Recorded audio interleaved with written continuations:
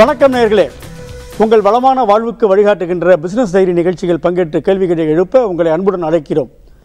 நன்மையும் தீமையும் நாடி நலம் புரிந்த தன்மையால் ஆளப்படும் என்கிறது திருக்குறள். எந்த ஒரு விஷயத்தை எடுத்துக்கொண்டாலும் சரி அதில் நல்லது என்ன இருக்கிறது அதில் ஏற்படக்கூடிய தீமை என்ன என்று இரண்டையும் அலசி ஆராய்ந்து பார்த்து அதனால் நமக்கு எது நல்லது விளைவிக்கும் என்பதை ஆராய்ந்து பார்த்து அதை மட்டும் செயல்படுத்த வேண்டும் என்று அழகாக எடுத்துரைக்கிறது திருக்குறள். இந்த திருக்குறள் அப்படியே பங்கு முதலீடுகளுக்கு மிக மிக பொருந்தி வருகிறது. பங்கு முதலீடுகளில் நல்லதும் இருக்கும் கெட்டதும் இருக்கும். அதே நேரத்தில் ஏற்றமும் இருக்கும் இறக்கமும் இருக்கும். அதை நாம் தெளிவாக தெரிந்து கொண்டு அலசி ஆராய்ந்து எந்த நேரத்தில் எது நமக்கு நன்மை பயவிக்கும் எது நமக்கு லாபம் தரும் என்பதை நாம் அலசி ஆராய்ந்து பார்த்து முடிவெடுக்க வேண்டும் முதலீடு செய்ய வேண்டும். அந்த வகையில் இன்றைய தினம் உங்களது பங்கு முதலீடுகள் எவ்வாறு லாபம் தருவதாக அமைய வேண்டும் லாபம் தரக்கூடிய பங்குகளை எவ்வாறு கண்டறிவது என்பது குறித்து நமக்கு விளக்குவதற்காக நமக்கு ஏற்கனவே நன்கு அறிமுகமான பங்கு வர்த்தக ஆலோசகர் ஈரோட்டைச் சேர்ந்த திரு ஸ்ரீதநிதின் அவர்கள் நமது அரங்கத்துக்கு வந்திருக்கிறார்கள். அவர்களை உங்கள் சார்பிலும் நமது புதியகம் தொலைக்காட்சி சார்பிலும் வருக வருக என வரவேற்கிறோம். வணக்கம் சார். வணக்கம். இப்போ எல்லாத்துலேயுமே நல்லதும் இருக்கிறது கெட்டதும் இருக்கு. அப்படி இல்லாதது மனுஷனும் கிடையாது விஷயமும் கிடையாது. அப்போ பங்குகளை நல்ல பங்கு கெட்ட பங்குன்னு சொல்ல முடியாது. அது ஒரு பொசிஷன் கால சூழ்நிலை கால சூழல். அப்போ அதை எப்படி கண்டுபிடிக்கிறது? இது கரெக்டாக நம்ம முதலீடு செய்கிறது கேட்டுறது அப்படிங்கிறது எப்படி கண்டுபிடிக்கலாம்? அதாவது பங்குகள் கால சூழ்நிலைக்கு தகுந்த மாதிரி தான் நடந்துட்டு இருக்கு. இப்போ வந்து இப்போ இன்றைய மார்க்கெட்டுக்கு என்ன மார்க் எந்த மார்க்கெட்டு சூழ்நிலையில் எந்த பங்கு சேல் ஆகுங்கிறத பொறுத்து தான் அதனுடைய ஏற்றம் இருக்கும். இன்று ஏறுற மார்க்கெட்டில் நாளைக்கு இறங்கும். இன்றைய பங்கு நாளைக்கு மாறதுக்கு வாய்ப்பு அதிகமாக இருக்குன்னு வச்சுங்களேன். அதாவது பார்த்திங்கன்னா இன்றைய காலகட்டத்தில் மோட்டார் செக்டர் பங்க்ஸ் இறங்கிட்டு இருக்கு இன்னைக்கு. இதே வந்து பார்த்தீங்கன்னா லாஸ்ட் வீக் லாஸ்ட் மந்த்தெல்லாம் ஃபுல்லாக ஏற்றம் மிகப்பெரிய ஏற்றம். ப்ராஃபிட் புக்கிங் நடந்திருக்குன்னு வச்சுங்களேன். அதனால் கால சூழ்நிலைக்கு தகுந்த மாதிரி தான் அது வந்து ஏற்றம் இருக்கும். இன்று ஏறுறது நாளைக்கு இறங்கி தான் அதாவது எப்படி மனித வாழ்வை போல தான் பங்குகளுக்கு ஆனால் சில சமயம் ஒரு பங்குகளுக்குன்னு சில குணாதிசயங்கள் இருக்குல்ல? இது வந்து நல்ல சிறந்த பங்குகள். இதை நீங்க வந்து கண்டுக்காம இருக்கலாம் அந்த பக்கம் போகாம இருக்கிறது நல்லதுங்க அப்படின்னு சில பங்குகளும் இருக்கு. சோ அதை எப்படி கண்டுபிடிக்கிறது? இந்த பக்கமே நம்ம போக வேண்டாம். இதை வந்து நம்ம முதலீடு செய்யலாம். அப்படின்னா அந்த வகைப்படுத்துவதற்கு என்ன விதமான நம்ம எப்படி பயன்படுத்துறது எப்படி கண்டுபிடிக்கிறது? அதாவது அடிப்படை வங்கித்துறை பங்குகள் காலத்திற்கு ஏற்ற எந்த காலத்திலையும் ஏற்ற பங்குகள் வங்கித்துறை ஓகே. அடிப்படை. அடுத்தது வந்து சிமெண்ட் செக்டர்ஸ் உள்கட்டமைப்பு துறை. அடுத்தது மோட்டார் செக்டர்ஸ். இது மாதிரி ஒரு ஐந்து விதமான பங்குகள் நம்ம வச்சுக்கலாம். இதில் அடிப்படை முக்கியமாக நம்ம வந்து ஃபஸ்ட்டு நம்ம ப்ரியாரிட்டி கொடுக்க வேண்டியது வங்கித்துறை. ஓகே. சில மார்க்கெட்டுக்கு தகுந்த மாதிரி ஆயில் செக்டர்ஸில் இப்போ வந்து கொஞ்சம் வீக்காகவும் இருக்குது சில நேரத்தில் ஏறவும் இருக்குது இப்போ மார்க்கெட் சரிஞ்சிட்டு இருக்கு இப்போ ஏறிட்டு இருக்கு. மோட்டார் செக்டர்ஸ் ஆப்போசிட்டாக இறங்கிட்டு இருக்கு. ப்ளஸ் வந்து சிமெண்ட் செக்டர்ஸும் இறங்கிட்டு இருக்குன்னு வச்சுங்களேன் இப்போ எல்லாமே டோட்டலாக மார்க்கெட் சென்டிமெண்ட்டுக்கு தகுந்த மாதிரி தான் மாற்றங்கள் இருந்துட்டு இருக்குன்னு வச்சுங்களேன் அதனால் நல்ல பங்குங்கிறது வந்து இன்றைய நல்ல பங்கு நாளைக்கு அது பொதுவான விதி. பொதுவா. ஆமா. அதுக்கு முன்னால இது வந்து சிறப்பான பங்கு அப்படின்னா அந்த நிறுவனங்களுடைய செயல்பாடை வச்சு நம்ம கண்டுபிடிக்கலாம் இல்லையா? அதோடைய சாதக பாதகங்கள். இப்போ ஒவ்வொரு நிறுவனத்துக்கும் அது சார்ந்த நீங்க சொல்ற மாதிரி செக்டார் அந்த துறைக்கு ஏற்படக்கூடிய சாதக பாதகம். அப்புறம் குறிப்பிட்ட நிறுவனத்தின நிறுவனத்தில் மட்டும் ஏற்படக்கூடிய சாதக பாதகம். அதை எப்படி ஆராய்ஞ்சு பார்க்கறது? அதை வச்சு எப்படி நமக்கு லாபம் வருங்கிறத எப்படி கண்டுபிடிக்கிறது? அதாவது இப்போ வந்து நம்ம வங்கித்துறை பொதுவாக நம்ம எடுத்துக்கிட்டோம்னா வங்கித்துறையில் முதன்மையான பங்கு இது. அதனுடைய சொத்து மதிப்பு. அந்த சொத்து மதிப்பு உள்ள number one number two number three நிறுவனங்கள். அந்த நம்பர் ஒன் நிறுவனத்தில் அதனுடைய கடன் இருக்கு. மூணு மாதத்துக்கு அதனுடைய ரிசல்ட்ஸ் வந்துட்டு இருக்கு. அதை நம்ம ஆய்வு செய்யணும்.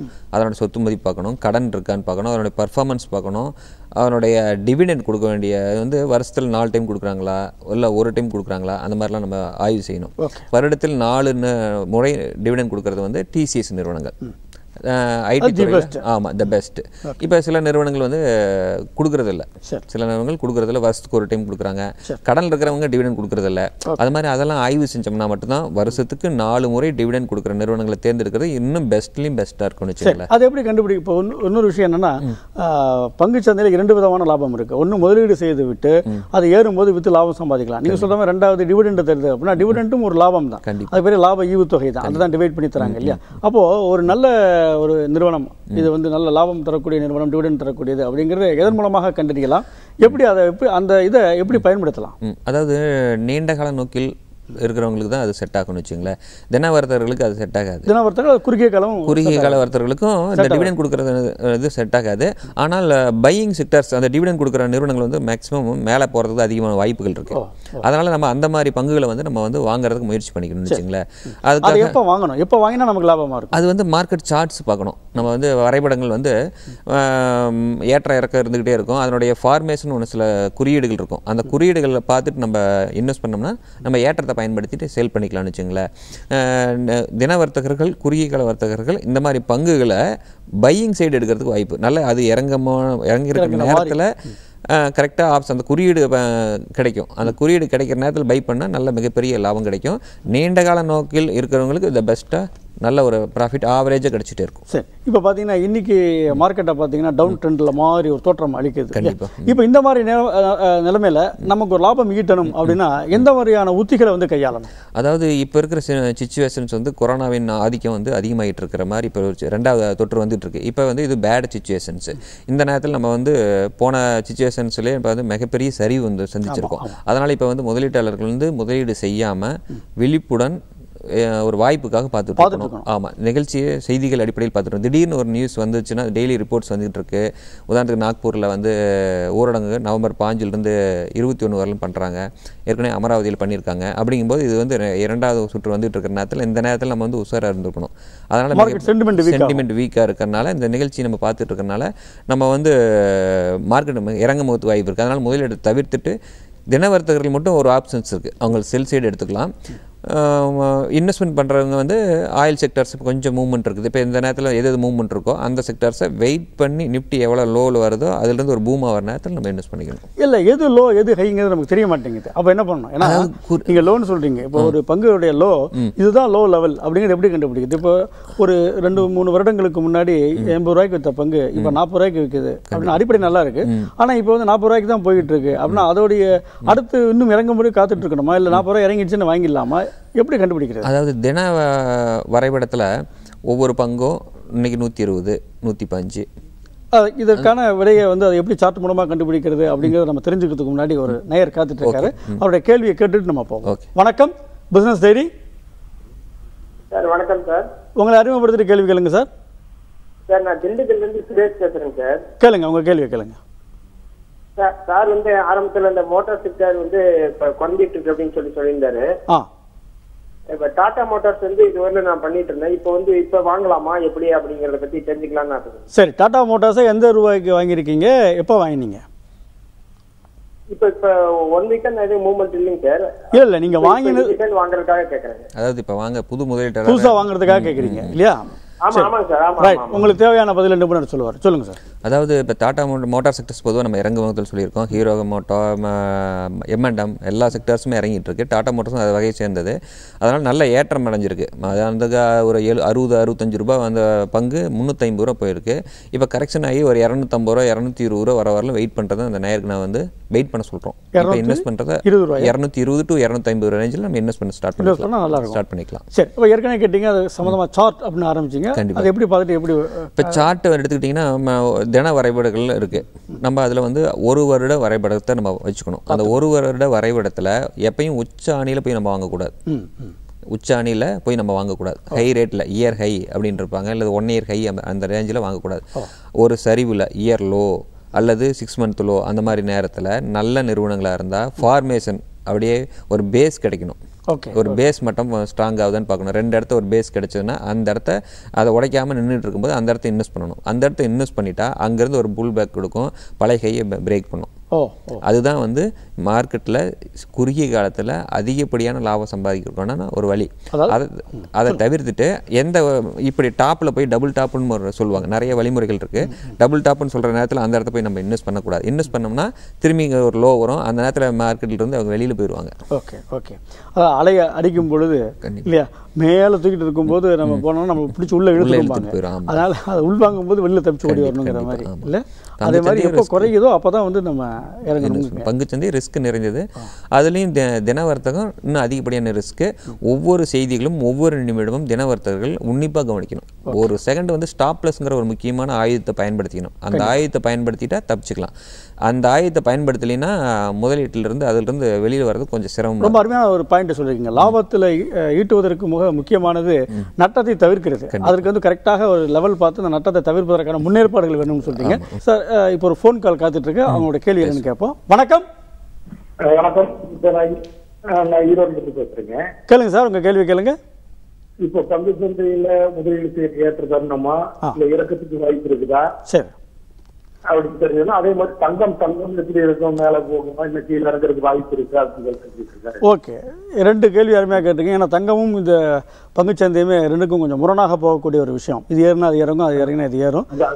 எதில் முதலீடு செய்யலாம்னு கேட்டிருக்கீங்க? நல்ல கேள்வி. உங்களுக்கு உரிய பதிலை நிபுணர் சொல்லுவார். சொல்லுங்கள் சார். பங்குச்சந்தைக்கு இப்போ முதலீடு செய்ய ஏற்ற நேரம் அல்ல. இப்போ இப்போ முதலீடு செய்ய நேரம் ஏற்கனவே பற்றி கொஞ்சம் சொல்லிட்டு இருந்தீங்க. அதை பற்றி சொல்லிட்டு இருந்தேன். அதை தொடர்ச்சியாக நான் சொல்லிட்டு இருக்கேன். இப்போ இதனுடைய பதினஞ்சாயிரத்தி முந்நூற்றி இருபத்தொரு பயன் புள்ளிகள் இன்னைக்கு ஆரம்பிச்சது. நூற்றி நாற்பத்தாறு புள்ளிகள். இது இப்போ சரிந்து ஒரு நூறு புள்ளிகள் சரிந்து ஐம்பது புள்ளிகள் அளவில் இப்போ இருக்கு இது வந்து மீண்டும் வந்து மைனஸ் நூறு புள்ளிகள் வர வரதுக்கு வாய்ப்பு இருக்குது இன்றைக்கி இன்னைக்கு ஒரே நாள் இன்னைக்கு வர வாய்ப்பு இருக்கு. இப்போ நாளைக்கு நாளானைக்கும் விடுமுறை. ஆமாம் அஹ், திங்கட்கிழமை மார்க்கெட்டில் ஒரு எப்படி இருக்கும் அப்படின்ற ஒரு பதட்டத்தில் வேணா கெட்ட செய்திகள் ஒன் பை ஒன்றா வந்துட்டு இருக்கிற நேரத்தில் இந்த சரிவுகள் மேலும் தொடரும். மார்க்கெட் வந்து ஒரு பதிமூணாயிரம் வரலும் வெயிட் பண்ணுறது பெஸ்ட்டு ஓ. அதனால ஒரு மிகப்பெரிய சரிவு முதலீடு பண்ணலாம். ஆமாம் மிகப்பெரிய சரிவுக்கு காத்திருக்கிறது மார்க்கெட் தங்கத்தில் கேட்குறாரு தங்கத்தில் முதலீடு செய்யலாம். இந்த நேரத்தில் முதலீடு செய்யலாம். கிட்டத்தட்ட அஹ், பார்த்தீங்கன்னா தங்கம் வந்து இரண்டு மூணு நாளாவே ஏற்றத்தில் ஏற்றத்தில் ஸ்டார்ட் ஆயிருக்கு. சென்செக்ஸ் குறையும் பொழுது பங்குச்சந்தை குறையும் பொழுது இன்னும் கொஞ்சம் ஏறும். கண்டிப்பாக இப்போ எந்த இடத்துல வாங்கணும் அதை? இப்போ இந்த இடத்தையும் வாங்கலாம். வாங்கலாம். இப்போ இப்போ இருக்கிற நேரத்தில் முப்பத்தி நாலாயிரம் அந்த ரேஞ்ச் இருக்கு. சரி. இந்த இந்த இடத்துல இருந்து இன்வெஸ்ட் பண்ணலாம். இது வந்து மீண்டும் பழைய ஹையை டச் பண்றதுக்கு அதை பீட் பண்றது கூட வாய்ப்புகள் அதிகமாக ஓ இருக்கு. இப்போ தங்கத்தை கூட நம்ம வந்து எஸ்ஐபி மாதிரி சிறுக சிறுக வாங்கிக்கலாம் வாங்கிக்கலாம். ஏற ஏற கொஞ்சம் வாங்கிக்கலாம். இப்போ கொஞ்சம் முதலீட்டு ஆரம்பிக்கிறது பெஸ்ட்டான ஒரு தருணம். அதனால அந்த நேரம் சொல்ல விரும்புறது வந்து தங்கத்தில் இன்வெஸ்ட் பண்ணலாம். பங்குச்சந்தையில் வெயிட் பண்ணலாம். அப்படியும் பங்குச்சந்தையில் இன்வெஸ்ட் பண்ற மாதிரி இருந்ததுன்னா ஒரு ஆயில் செக்டர்ஸ் இன்வெஸ்ட் பண்ணலாம். அதுக்கு ஆயில் இருக்கு? ஆயில் ஆயில் இருக்கு. ஆயில் இருக்கு. ஆயில் இருக்கு. ஆயில் செக்டர்ஸ்லையும் பிபிசிஎல் ஐஓசி இந்த மாதிரி முன்னணி நிறுவனங்களை நம்ம இன்வெஸ்ட் பண்ணலாம்.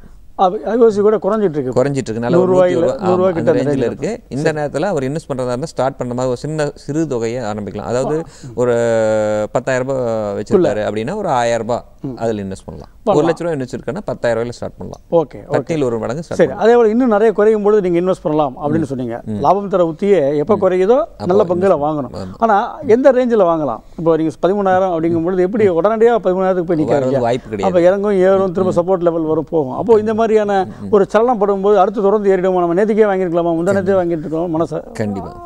அப்போ என்ன பண்ணலாம் அப்படின்னு நான் உங்கள்கிட்ட நான் கேட்கறதுக்கு முன்னாடி வேற ஒரு நேயர் காத்துட்டு இருக்காரு வணக்கம் பிசினஸ் டைரி வணக்கம் சார். வணக்கம் உங்களை அறிமுகப்படு ஜனார்த்தனன். ஆ கேளுங்க சார். மதுரையில இருந்து. கேளுங்க சார். கேளுங்க உங்க கேள்வி கேளுங்க. அதாவது இந்த எஃப் ஒன்ல ஆ. நிப்டி பேங்க் ஆ. அது செக்டர் வந்து வாங்கணும். அது நாட் கணக்குல கான்ட்ராக்ட் பேஸ்ல வாங்கணும். சரி. அது அந்த மார்ஜின் மார்ஜின் மணி எவ்வளவுன்னு சார்கிட்ட கேட்டு கொஞ்சம் சொல்லுங்களேன். சரி ஏற்கனவே நீங்க பங்கு சந்தையில் உங்களுக்கு ஈடுபாடு இருக்கா? இல்ல முதல் முறையா வரீங்களா? இல்ல ஏற்கனவே நான் இருக்கு இருக்கீங்க. அதாவது இந்த bank State Bank of India அது மட்டும் ஷேர் வாங்கிட்டு தான் இருக்கேன். ஓகே. ஒரு நூறு ஷேர் ஐம்பது ஷேர் இந்த மாதிரி வாங்கி வச்சுக்கிட்டே தான் இருக்கேன். சரி சரி. அதாவது ஏன் கேட்குறேன்னா லாட் கணக்குல கான்ட்ராக்ட் பேஸ்ல வாங்கணும். ஆ ஆ ஆ. சரி எவ்வளோ மார்க்கெட் மணி எவ்வளவுன்னு கொஞ்சம் கேட்டு சொன்னீங்கன்னா ரொம்ப நல்லது. சரி உங்களுக்கு தேவையான பதில சொல்லுவார். நீங்க எஸ்பிஐ வந்து எவ்வளோ ரூபாய்க்கு வாங்கினீங்க? எத்தனை வாங்கினீங்க? எஸ்பி வந்து இருநூத்தி ஐம்பது ரூபா ஏற்கனவே வாங்கியிருந்தேன். எவ்வளோ ஷேர் வாங்கியிருந்தீங்க? நூறு ஷேர் சரி ரைட் இப்போ உங்களுக்கு தேவையான பதில நிபுணர் சொல்லுவார். அவர் ஓரளவுக்கு லம்சமாக வந்து இப்ப இப்ப கேக்குறது வந்து Nifty Bank Nifty sector. Bank. Okay Nifty Bank Nifty Bank புரியுது புரியுதுங்க. ஏன்னா நீங்க திடீர்னு எஸ்பிஐ ஒன்று மட்டும் வாங்கியிருக்கீங்க திடீர்னு வந்து ஒரு எஃப்என்டோக்கு போகணும்னு ஆசைப்படுறீங்க. அதுக்கு நீங்க வந்து உங்களால் முடியுமாங்கிறதுக்காக தான் இத்தனை கேள்வி கேட்டது. இப்போ உங்களுக்கு தேவையான பதில நிபுணர் சொல்லுவார் கவனமாக கேளுங்க. நன்றி. அதாவது எஃப்எண்டோ இந்த நேருக்கு நம்ம வந்து அஹ், வேண்டான்னு சொல்கிறது தான் நம்மளுடைய ஒரு ஆலோசனை நம்ம சொல்லலாம். ஏன்னா எஃப்எண்டோ செக்டர்ஸ் பொறுத்தவரையிலும் செவி அமைப்பு வந்து மிகப்பெரிய மார்ஜின் மணி இன்க்ரீஸ் பண்ணியிருக்காங்க. அதனால் வந்து குறைஞ்சபட்சம் ஒரு ஐந்து லட்ச ரூபா இன்வெஸ்ட் பண்ணணும். ஐந்து லட்ச ரூபா இன்வெஸ்ட் பண்ணி இருந்தால் மட்டும்தான் அதில் இன்வெஸ்ட் பண்ணணும். அதுலேயும் வந்து பார்த்தீங்கன்னா நிஃப்டி பேங்க் நிஃப்டி வாங்குறாங்க அப்படின்னா ஆப்ஷன்ஸ் ஹெட்ஜிங் பண்ணிக்கணும். ஒரு சேஃப்டிக்காக பண்ணிக்கலாம். அந்த மாதிரி பல வழிமுறைகள் இருக்குன்னு வச்சுங்களேன். ரிஸ்க் எடுக்கிறதுக்கு உண்டான ரிவார்டு ரொம்ப கம்மியாக இருக்குது ப்ளஸ் வந்து இவர் ஏற்கனவே வந்து ஈக்விட்டிஸில் ஸ்டேட் பேங்க் இந்த மாதிரி இல்ல ஈக்விட்டியில் கூட அவர் பரவலாக வாங்கல. ஒரே ஒரு எஸ்பிஐ மட்டும் வாங்கிட்டாரு. வாங்கிட்டு இப்போ ஒரேடியா வந்து எஃப்என்டோக்கு போகணுங்கிற போகணும்னு ஆசைப்படுறேன். ஏன்னா அதில் ப்ராஃபிட் பார்த்துருப்பாரு. அதனால அடுத்தது வந்து அதிகப்படுத்தி மார்க்கெட்டில் உள்ள வந்தவங்க ஒரு சிறு ப்ராஃபிட் கிடைச்சோன்னே ஒருத்தன ஒரு இதே மாதிரி தான் எப்பயுமே என்ன என்றுமே கிடைக்கும் அப்படின்ற மாதிரி அவன் நினச்சிட்டு தினம் இது மாதிரி தான் கிடைக்கும் அப்படின்னு கால்குலேஷன் பண்ணிட்டு அண்ணன் அதை பெருக்கிட்டு ஒன் மந்த்தில் இவ்வளோ கிடைக்கும் அப்படின்ற மாதிரி போயிடுறாங்க. அது டோட்டலாக முதலீட்டை இழக்கிறதுக்கு ஒரு அச்சாரம் தான் இந்த சிறு லாபமே. அதனால் இவங்க வந்து ஸ்டேட் பேங்கை இருக்கும் ஸ்டேட் பேங்கை கவனமாக அவங்க செல் பண்ணி ப்ராஃபிட் புக் பண்ணிக்கணும். புக் பண்ணிவிட்டு செக்டர்ஸ் வைஸ் கொஞ்சம் வெயிட் பண்ணணும். வெயிட் பண்ணிவிட்டு மார்க்கெட் தகுந்த மாதிரி இறங்கணும். ஸ்டே ஸ்டேட் பேங்க்கில் விற்ற தொகையை அதில் பாதி தொகையை ஆயில் செக்டர்ஸில் ஒரு அளவான ஏற்றத்துக்கு மார்க்கெட் சரிந்தாலும் ஏறுறதுக்கு அதிகப்படியான வாய்ப்பு ஆயில் செக்டர்ஸ் இருக்குது அதனால் வாங்கலாம்னு ஏற்கனவே கேட்ட மாதிரி ஃபியூச்சர் அண்ட் ஆப்ஷன்ஸ்ல அந்த எஃப்என்டோவில் பேங்க் நிஃப்டி வாங்குறதுக்கு நிறைய ரெஸ்ட்ரிக்ஷன்ஸ் இருக்கு அப்படின்னு சொல்லியிருக்கீங்க. அது சம்பந்தம் இன்னும் கொஞ்சம் விளக்கம் சொல்ல முடியுமா? அதாவது மார்ஜின் மணி என்ன அதிகப்படுத்தியிருக்காங்க. ஏன்னா பேங்க்லாம் வந்து நிறைய சில சமயங்கள் ப்ராப்ளம் ஆகுது அப்படிங்கிறது ஆர்பிஐயோட கண்டுபிடிக்கலாம் ஆ, அது மட்டும் இல்லாமல் மார்ஜின் மணி எல்லா செக்டர்ஸ்க்கும் அதிகப்படுத்தியிருக்கு எல்லாத்துக்குமே ஆமாம் பேங்க் நிஃப்டின்னு இல்லை நிஃப்டி மட்டும் இல்லாமல் ஸ்டாக்ஸ்க்குமே அதிகப்படியான மார்ஜின் மணி தேவைப்பட வச்சிருக்காங்க. அதனால வந்து சிறுமுறைகள் கண்டிப்பாக யாருமே அதில் இன்வெஸ்ட்மெண்ட் பண்ண முடியாது. ஏன்னா அது அதனால இழப்பு ஏற்பட்டு விடக்கூடாதுங்கிறதுக்காக தான் மார்ஜின் வைக்கிறாங்க கண்டிப்பாக அதையும் அதனால வந்து நம்ம வந்து நம்ம குறைஞ்சபட்சம் ஒரு அஞ்சு லட்ச ரூபா நாமளே வந்து சொல்லிட்டு இருக்கோம் ஐந்து லட்ச ரூபா வந்து நீங்கள் இன்வெஸ்ட் பண்ணுற மாதிரி இருந்தால் அதில் ஒரு சிறு முயற்சி எடுங்க. அதுலேயும் ஒரு ஸ்டாப்லஸ் மாதிரி வைத்துக் கொள்ளுங்கள். ஒரு ஐம்பதாயிரம் ரிஸ்க் ஐம்பதாயிரம் ரிஸ்க் விழுந்துட்டு நாலு லட்ச ரூபா ஐம்பதாயிரம் ரூபா ஐம்பது அஞ்சு லட்ச ரூபாயில் நான் ஐம்பதாயிரம் போச்சுன்னா நாலு லட்சத்து ஐம்பதாயிரம் ரூபா. அந்த இடத்த வந்து டச் பண்ணிடுச்சுன்னா மீண்டும் வந்து அந்த இன்வெஸ்ட்மெண்ட்டை ஸ்டாக்ஸில் இன்வெஸ்ட் பண்ணி அந்த ஐம்பதாயிரம் ரெக்கார்ட் பண்ணுங்கிறத நாம சொல்கிற வழிமுறைகள். ஓகே. அதாவது இழப்பு ஏற்பட்டாலும் அந்த இழப்பை வந்து திரும்ப வேற இடத்துல எடுத்தாகணும். வேற இடத்துல எடுத்தாகணும். இதுலேயே எடுக்க கூட முயற்சி பண்ணக்கூடாது. அதாவது எஃப்என்டோலையே இப்போ அதை சொல்லுங்க. ஏன்னா இப்போ வந்து ஒரு லாபம் ஈட்டுதல் அப்படிங்கும்போது என்னன்னா லாபம்ங்கிறது ஒரே என்ன ஓடுற குதிரை தான் கட்டுவேன் இந்த குதிரை தான் கட்டுவேன்னு சொல்ல முடியாது. எது ஓடுதோ அதில் கட்டணும். அப்போ இதில் இழந்துட்டோம் அப்படின்னா இன்னொரு குதிரை எது ஓடுது அப்படிங்கிறத பார்த்து அதுலேருந்து கட்டி நம்ம இழப்பை சரி பண்ணணும். அந்த நுட்பத்தை சொல்லுங்களேன். இப்போ நான் தான் ஏற்கனவே சொன்ன மாதிரி ஐந்து லட்ச ரூபா இன்வெஸ்ட் பண்ணியிருக்காங்க. ஐம்பதாயிரம் அதிலிருந்து ப்ராஃபிட் வந்துச்சுன்னா ப்ராஃபிட்டை புக் பண்ணிட்டு எடுத்துக்கணும். பேங்க்ல இருந்து நமக்கு அக்கௌண்ட்டுக்கு நம்ம கையில் எடுத்துக்கணும். அடுத்தது அது எதிர்பாராபரமாக ஐம்பதாயிரம் ரூபாய் நஷ்டம். அப்படின்னா நாலு லட்சத்தி ஐம்பதாயிரம் கேபிட்டல் வந்துடும் இந்த சூழ்நிலையில் நாலு லட்சத்தி ஐம்பதாயிரம் ஈக்விட்டி ஷேர்ஸில் பரவலாக இன்வெஸ்ட் பண்ண ஒரு ஒரு ப ஒரு ஆறு கம்பெனி ஏழு கம்பெனி டிவைட் பண்ணி நம்ம இன்வெஸ்ட் பண்ணிட்டு பாதியை மட்டும் இன்வெஸ்ட் பண்ணிட்டு பாதி நம்ம வச்சிருக்கோம். சரிவுக்காக காத்திருக்கோம். அந்த நேரத்தில் சிறு சிறுக்கு ஐயாயிரம் ஐயாயிரமே நம்ம வந்து ப்ராஃபிட் புக் பண்ணோம்னா இதே பேங்க் செக்டர்ல வேற வேற பகுதிகளில் பண்ணலாமா? இல்லை வேற பேங்க் செக்டர் செக்டர்ஸில் ஹெச்டிஎஃப்சி பேங்க்கு ஓகே ஸ்டேட் பேங்க்கு அதாவது ஸ்டேட் இப்போ வச்சிருக்காரு. ஆனால் சரிவுக்காக புக் பண்ணிட்டு சரிவுக்காக வெயிட் பண்ணணும். சரிவுக்காக வெயிட் பண்ணணும். அடுத்தது வந்து வேற செக்டர்ஸ் கோடாக் பேங்க் வாங்கலாம். அடுத்தது டிசிஎஸ் வாங்கலாம். ஓகே சரி ஏன்னா இப்போ வந்து ஒரு இரநூத்தம்பது ரூபா அப்படிங்கிற லெவலில் நூறு பங்குகளை வாங்கியிருக்கேன் அப்படின்னு சொல்றாரு. அவர் ஏற்கனவே ப்ராஃபிட்டை புக் பண்றதுக்கான வாய்ப்புகள் இருந்ததா? இரு- இருந்தது. நானூற்றி இருபத்தஞ்சு மேலே போயிருந்தது அதனால நானூறுரூவா அந்த ரேஞ்சு கூட நம்ம ஸ்டாப் லாஸ் வச்சு கூட புக் பண்ணிக்கலாம். அந்த மாதிரி செஞ்சுக்கலாம். அந்த மாதிரி செஞ்சோம்னா நமக்கு வந்து சேஃப்டியாகவும் இருக்கும். ஒரு கேபிட்டல் வந்து நம்ம ரைஸ் பண்ணுறதுக்கு நம்ம ஒரு ஆப்பர்ச்சுனிட்டி அமைஞ்சுக்கணும்னு வச்சுங்களேன் ஓகே அந்த பிரைஸ் ஆவரேஜ் பண்ணுறது நல்ல உத்தி அப்படிங்கிறாங்களே. இந்த பிரைஸ் ஆவரேஜ்னா என்ன எப்படி பண்ணுறது ஆவரேஜ் ப்ரைஸ் பண்ணுறது வந்து மிகப்பெரிய ஒரு அதாவது ஒவ்வொரு டவுன்லையும் தரமான நிறுவனங்கள் மட்டும்தான் அந்த ஆவரேஜ் பண்ண முடியும் அதாவது தரமான நிறுவனங்கள்னா TCS UltraTech cement plus HDFC Bank Kotak bank State Bank இந்த மாதிரி ஒரு முன்னணி நிறுவனங்கள் டாப் டென் நிறுவனங்கள். மாருதி இந்த மாதிரி மோட்டார் செக்டரில் மாருதி எடுத்துக்கலாம். எம்என்டம் மஹேந்திர மஹேந்திரா எடுத்துக்கலாம். ரிலையன்ஸ் இண்டஸ்ட்ரீஸ் எடுத்துக்கலாம். இந்த மாதிரி தரமான பத்து நிறுவனங்கள். எடுத்துட்டு அது ஹையில் இருந்து கிட்டத்தட்ட ஒரு ஐநூறுரூபா இப்போ உதாரணத்துக்கு இப்போ மாருதி எல்லாம் கிட்டத்தட்ட ஏழாயிரம் எட்டாயிரம் அந்த ரேஞ்சில் இருக்கும்போது ஆயிரம் ரூபாய் ரெண்டாயிரம் குறையிற அளவுக்கு வெயிட் பண்ணணும்னு வச்சுங்களேன். சிறு முதலீட்டாளர்கள் சிறு இரண்டு எழுத்து இரண்டு அதாவது இருபது ரூபா முப்பது ரூபா ஐம்பது ரூபா ஷேர்ஸை இன்வெஸ்ட் பண்ணுறது மோஸ்ட்லி வந்து விரும்புகிறாங்க அதை தவிர்த்துட்டு ஃபோர் டிஜிட்டல் ஷேர்ஸை நம்ம இன்வெஸ்ட் பண்ணணும். இல்ல சிறு அமௌண்ட்டாக இருந்தா கூட ஃபண்டமெண்டல் ஸ்ட்ராங்கா இருக்கணும் இல்லையா? ஆமாம் அது முக்கியமானது. கண்டிப்பா. அதாவது காசு கம்மியா இருக்கே அப்படிங்கிறத மட்டும் பார்க்கக்கூடாது. அது ஒர்த்தா இருக்காங்கிறதையும் பார்க்கணும். சரி இப்போ ஏறத்தாழ நிகழ்ச்சி வந்து நிறைவடையும் துறையில் வந்துச்சு அப்போ லாபம் தரும் பங்குகளை கண்டறியது எப்படி? லாபத்தை ஈட்டுவது எப்படி? அப்படிங்கிறத ஒரு தொகுத்து சுருக்கமா சொல்லுங்க. ஓகே இப்போ லாபம் நிறுவ கண்டறியறதை பொறுத்தவரையிலும் சார்ட் வரைபடங்கள் மூலமாக தான் நம்ம கண்டறிய முடியும்.